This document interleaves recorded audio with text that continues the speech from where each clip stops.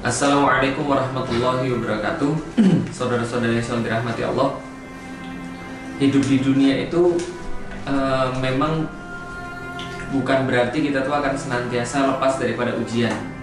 Artinya selama masih kita hidup di dunia ya pasti Allah pasti akan memberikan kita ujian. Allah pasti akan memberikan kita uh, sesuatu yang Allah itu melihat dari situ seperti apa kita menyikapi semua yang Allah berikan itu. Nah, misalnya Allah katakan di dalam surat Al-Fajr, eh, fa'ammal insanu idza mabtalahu rabbuhu fa'akramahu wa na'amahu fayaqulu rabbi akraman. Wa amma idza mabtalahu faqadara alaihi rizqahu fayaqulu rabbi ahanan. Jadi Allah katakan manusia itu ketika Allah berikan kepada mereka sebuah nikmat-nikmat gitu kan ya lalu kemudian mereka mengatakan bahwa oh Tuhanku memuliakan aku tapi apabila Allah memberikan kepada mereka faqadaru alaihi rizqah Allah kemudian berikan uh, rizkinya tidak seperti yang mereka inginkan tidak seperti yang mereka pinta tidak sebanyak yang mereka harapkan maka langsung mereka berkata Robbi ahanan ya Allah kayaknya Allah menghinakanku Padahal sebenarnya tidak seperti itu. Yang Allah berikan tetap sama kok. Misalnya di dalam uh, surat Al-Fajr tadi ayat-ayatnya diawali dengan kata-kata yang sama. Fa'amma mabtalahu gitu kan ya. Jadi uh, mabtala itu asal kata ibtila. Ibtila itu artinya adalah bala. Bala itu artinya adalah ujian gitu kan ya. Jadi sama-sama ujian. Kenikmatan menurut manusia itu adalah ujian, ketidaknikmatan menurut manusia juga adalah ujian. Maka setiap waktu kita pasti senantiasa akan diberikan oleh ujian demi ujian sampai nanti kita mati. Untuk apa? Menentukan kadar kita tuh seperti apa, nilai kita tuh seperti apa. Nah, kemampuan kita menyikapi ujian-ujian itulah yang kemudian membawa uh, pahala atau membawa siksa bagi kita. Nah, artinya ketika seseorang itu hidup mau jadi apa saja dia, dia pasti dapat masalah. Dia pasti dapat problem, dia pasti dapat ujian. Mau dia jadi orang baik dia dapat ujian. Dia jadi orang jahat dia juga diuji. Dia nggak baik nggak jahat lebih banyak lagi ujiannya. Lah antum mau pilih yang mana? Antum mau jadi orang baik ya dapat ujian. Antum jadi orang jahat iya dapat ujian. Tapi bedanya apa ujian-ujian orang baik ketika dia diuji oleh Allah Subhanahu wa taala maka Allah akan menyertakan kenikmatan di situ. Allah akan menyertakan kebaikan di situ. Allah akan menyertakan uh, kebahagiaan ketika dia diuji itu. Walaupun dia sedih, walaupun dia sakit, walaupun dia merasa tersiksa, tapi masih ada kebaikan yang Allah beri di situ, masih ada kenikmatan yang Allah beri di situ. Tapi kalau antum berbuat maksiat, maka senikmat apa pun ketika antum berbuat itu, maka seenak apa pun ketika antum kemudian melaksanakan itu, pasti akan ada ketidaktenangan yang Allah berikan kepada orang itu. Lah, bukankah yang antum minta dalam hidupan itu? ketika antum masih jomblo gitu ya antum minta agar antum sakinah ketika antum nikah antum minta agar antum sakinah antum baca ayat Allah gitu kan ya e, bahwa apa namanya ditaskunu ilaiha wa ja'ala bainakum mawaddata wa rahmah tapi antum tahu nggak bahwa sebenarnya sakinah itu kan datangnya dari Allah bukan dari yang lain sakinah itu tidak pernah datang dari manusia sakinah itu nggak pernah datang dari harta sakinah itu apalagi nggak mungkin datang dari popularitas tapi sakinah itu datangnya daripada Allah.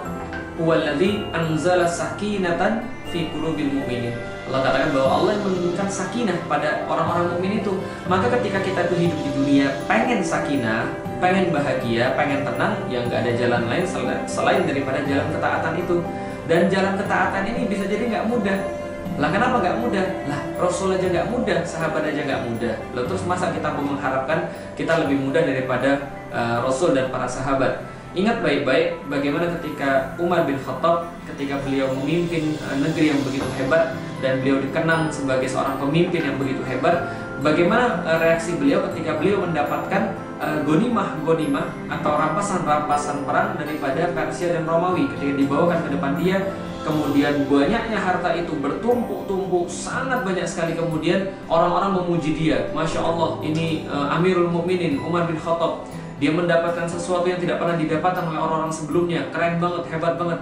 Ketika itu terjadi, dia malah nangis. Nah, kenapa malah nangis? Lalu dia berkata sambil nangis itu, seandainya semua ini adalah baik, seperti yang kau katakan, seharusnya semua ini, pampasan perang ini, eh, kekuasaan yang luas ini, semua yang kamu lihat, yang kamu bilang saya hebat ini, harusnya kalau ini adalah benar-benar hebat, ini harusnya didapatkan oleh dua orang yang lebih hebat daripada saya. Yaitu siapa? Abu Bakar dan juga Rasulullah Muhammad SAW. Artinya apa? Mereka nggak dapat itu.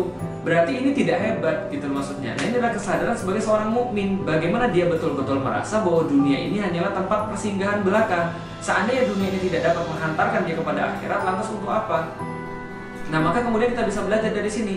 Seandainya ini hebat, harusnya datang pada Rasul, harusnya datang pada Abu Bakar. Ternyata apa yang datang pada Abu Bakar? Apa yang datang pada Rasulullah? Masya Allah, kesederhanaan hidup, gitu kan ya? Bagaimana kemudian beliau senantiasa istiqomah pada ketaatan. Itu yang datang pada mereka. Yang itu nggak ada pada orang yang zaman sekarang. Apalagi mereka yang sudah tersibukkan oleh dunia kemudian dijauhkan daripada taat. Maka beruntung antum-antum sekalian yang ketika Allah uji ujian itu justru menjadikan antum taat. Antum memang mungkin nggak punya uang tapi antum rajin ke masjid.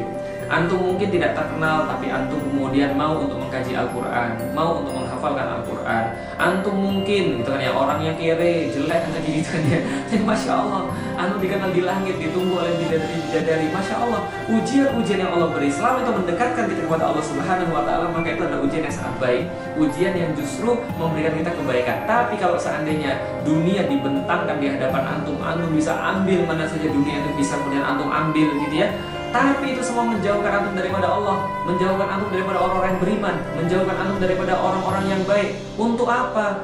Kalau sana itu baik sudah terjadi pada zamannya Allah, mah terjadi di zamannya Rasulullah dan terjadi di zamannya Umar. Lah, tapi justru yang diberikan lapang-lapang dalam hal harta itu, yang diberikan kemudian dunia itu justru siapa? Korun, Fir'aun, itu yang diberikan. Lah, antum mau nyayangin Fir'aun, antum mau nyayangin Korun, lah mereka aja sudah dapat lebih banyak daripada antum terus nggak puas. Terus uh, pas terakhir-terakhir pas sudah mau mati mereka mau syahadat mereka mau bertaubat tapi Allah kemudian tidak memberikan itu masya Allah. Maka ketika antum sudah diberikan jalan hijrah uh, saudaraku teman-teman sekalian insya Allah di jalan hijrah ini ketika antum sudah ditunjukkan jalan itu jalan hijrah itu ambil. Ketika antum sudah ditunjukkan jalan hijrah itu ayo jalan bareng-bareng. Sulit iya. Tapi kalau antum nggak jalan lebih sulit lagi Nah, bukan yang kemudian Allah sudah nyampaikan kepada kita. Dan kita minta juga tiap waktu uh, apa namanya kita minta pada Allah ihdinas siratal mustaqim siratal ladzina an'amta alaihim ghairil maghdubi alaihim waladdallin.